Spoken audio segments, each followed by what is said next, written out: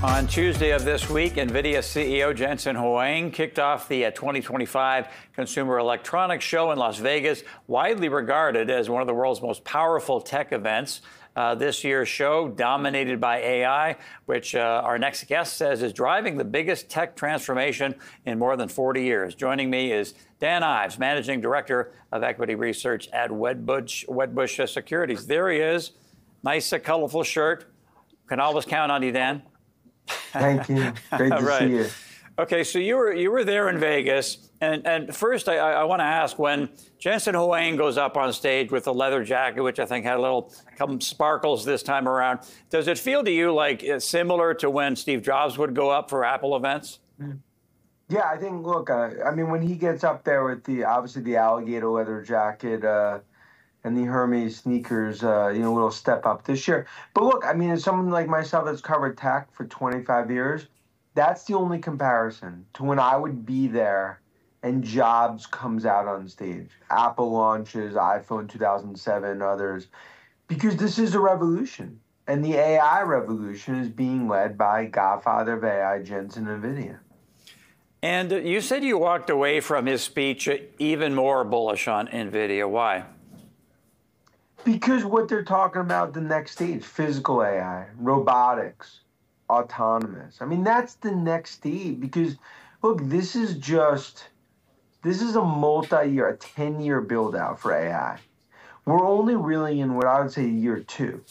And that's really going to be led by NVIDIA because their chips, that's the new oil and gold in terms of where this is all heading. And I think I left CES, someone that's gone there for decades this is the most real CES in terms of technology that, that that's actually going to ramp for consumers and enterprises.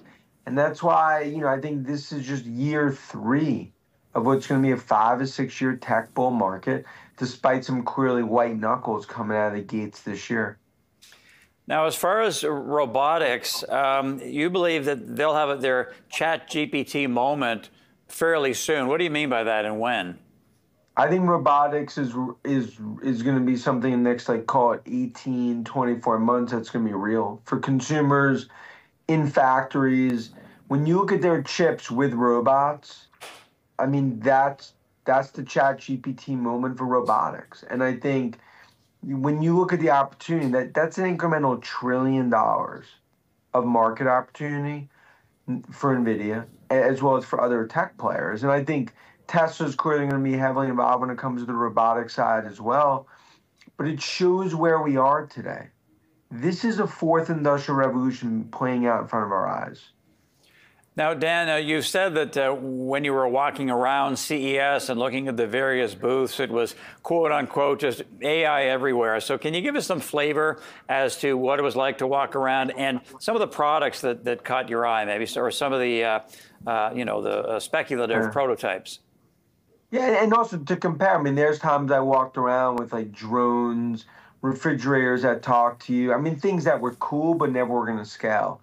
This time, I mean, you look at autonomous. I mean, I think we're essentially going to have flying cars by 2028, 2029, more than prototypes. I think you're seeing a lot of that come out of China. In terms of AI, in terms of the, some of these use cases on health, on robotics, on devices, these are products that are actually going to be coming to the market in the next, call it one, two, three years.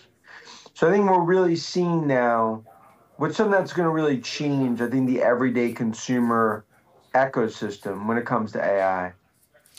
Now, uh, you're saying that the personal computer chips are getting the AI treatment. So, which are some of the companies that uh, impress you with what they're up to? Look, I think AMD clearly is, is coming out with some significant things. Of course, NVIDIA. Intel is clearly behind the game, so that that's something that needs to play out. But look, this is really AI PCs that you're gonna now going to start to see, and that's that's what you saw with Nvidia on the presentation. I think Jensen really talked about laying out the future when it comes to PCs, robotics, and autonomous. And I think physical AI is coming. And and I think that's something that's very important when you look at what's really going to be two trillion of AI capex that's coming to tech over the next three years. Um, and just lastly here, Dan, uh, how would you advise, uh, and maybe it's not your uh, role to do this, but how would you advise investors to construct their portfolio in terms of being able to uh, access AI, but also be, be, be prudent and protect the downside?